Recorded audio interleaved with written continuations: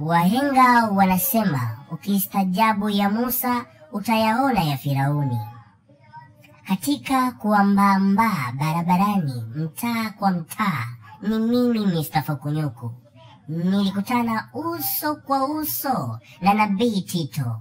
Unamkumbuka Nabii Tito?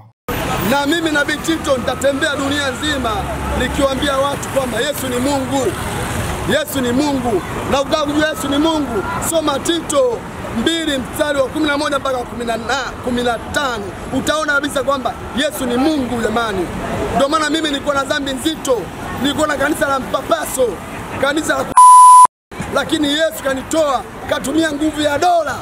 Unaona Yesu alivyokuwa na upendo, katumia nguvu ya dola. Serikali ya Magufuli imetumika Tito kumtoa pabaya, nilikuwa pabaya jamani. Yesu ameniokoa mimi tokea mwaka tisini. Shetani ananifaidi tu, mimi nilikuwa anani, anani sana shetani. Kwa hiyo Yesu ana nguvu jamani, Yesu anaokoa. Mimi katumia nguvu, ni bahati yangu, katumia dola, lakini nilikuwa naenda pabaya.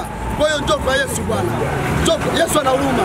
Na ukitaka kujua Yesu ni Mungu, ukitaka kujua Yesu ni Mungu, fuatilia sana matendo yake yote, kwa sababu yeye anaumba. yote tisa kumi. Vipi huu muondoko wa Nabii Tito? Wananiita Mr. Fukunyuku, Mr. Papalaz, the biggest papalaz in town wa Global TV.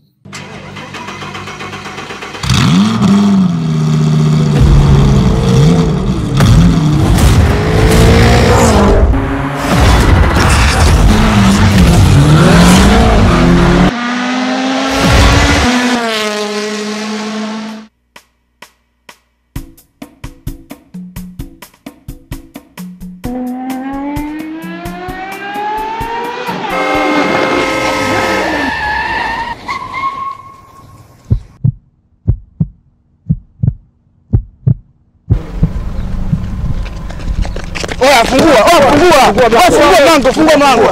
Jiunge mgonga mtoto. Ah, hii ni double star. Double double star? Ya, double star ni tairi bora na imara inapatikana kwa Binsurumu inadumu miaka buku.